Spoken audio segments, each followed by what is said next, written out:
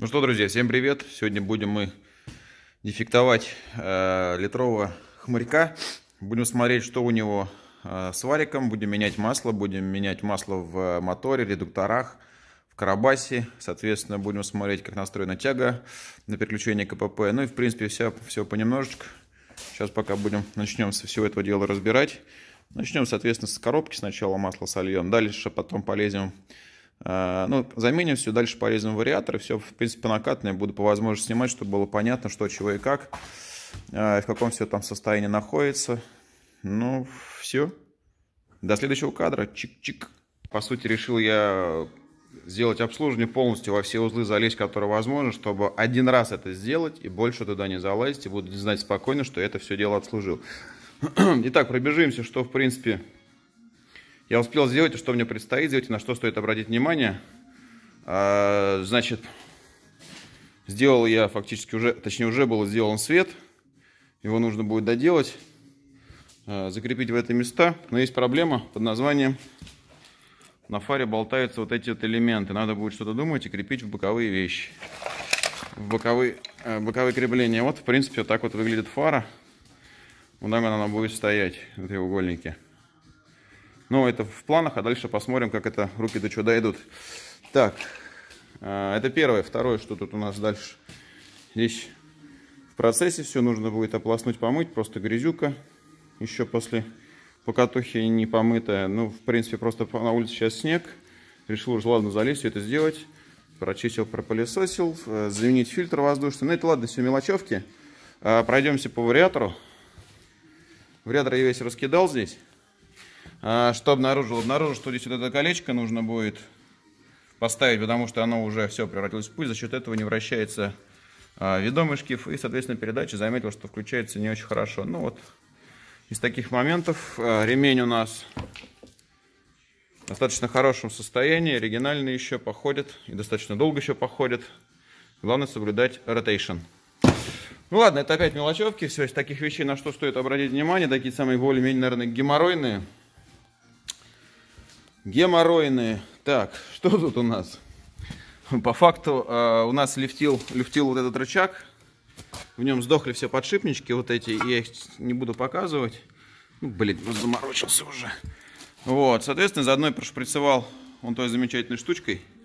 Эти подшипнички, чтобы они дольше ходили. Чем больше там смазки, тем меньше воды, тем дольше они ходят. Ну и, соответственно, прошприцевал э, все вот эти элементы. Все вот там прошприцевал. Самое главное, не забываем карданы, их прям обильненько прошприцевал. А, ну, соответственно, коли я вытащил а, привода, вот эти элементы все, то есть в сальничках почистил, снова смазочки вот такой набил, чтобы создавался масляный клин. Далее вот эту всю защиту я удалю, вот один часть уже снял, потому что из-за нее достаточно много грязи набивает. И вот тут вот был дело такой, а, аж пыльник провернуло. Потому что трава наматывается, если его во время покатухи не убрать, то она, соответственно, будет вот так вот пыльники проворачивать и может порвать. Соответственно, здесь снял, станет с другой стороны. А так у нас вот примерно все как-то в таком виде.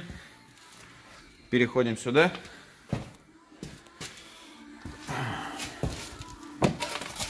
Сейчас здесь точно такую же операцию проведу. А, здесь все прошприцую, проделаю. Также здесь прошприцовать. Э, опять же, здесь тоже почищу старенчики. Дальше нужно будет снять что-то тут... А, эта часть дребезжит, надо будет выиграть, посмотреть, искрогаситель почистить, проверить. В целом, как в общем таких мелочевок, как бы больше всего, большую часть прикрутить, обслужить. Ну, заодно сейчас этот как раз подшипничек нужно будет прошприцевать, но по виду такой, как будто его стоит заменить. Но не люфтит. На удивление, не люфтит. Не люфтит. Ну, как-то так. Ну, до новых встреч. Дальше покажу, что получилось итого. Вот такая вот красота сейчас. Считай, жопы нет. Все разобрано. Дальше передок буду разбирать. Так. Короче, решил я, значит, заменить трос. То, что тросу абсолютно пиздец настал. Помимо всего прочего, лебедку надо обслужить. Потому что она любит обслуживание, тем более это Супервинчик Sally 3000, достаточно хорошая лебедка, но она любит, чтобы ее обслуживали, полностью набили смазки, чтобы она фактически у нас не получилось такое, чтобы она водичка напилась и потом где-нибудь в самый ненужный момент приказала долго жить. Собственно говоря, вот такие вот дела. Так что дальше продолжим. Кстати, меня спасает очень вот такой гайковерт Райоби двухамперный. 400 ну, ньютонов крутит, как заявляет. Насколько это так, хрен его знает. Ладно, суть не об этом. Дальше у нас что? Э, а, кстати, хотел сказать самое важное. Соответственно, э, вытащил я все подшипники. Они не люфтили. Э, в одном рычаге, а в другом люфтили. Но, когда я все их вытащил, они все, в принципе, были закисшие. То есть, они не работали. Поэтому, если у вас нет люфта, но вы, в принципе, понимаете, что вы давно поплавали, разбирайте, меняйте их. Также ступичные все я прошприцевал. Посмотрим, сколько они еще проживут. Вот. В целом, как-то все это выглядит вот так.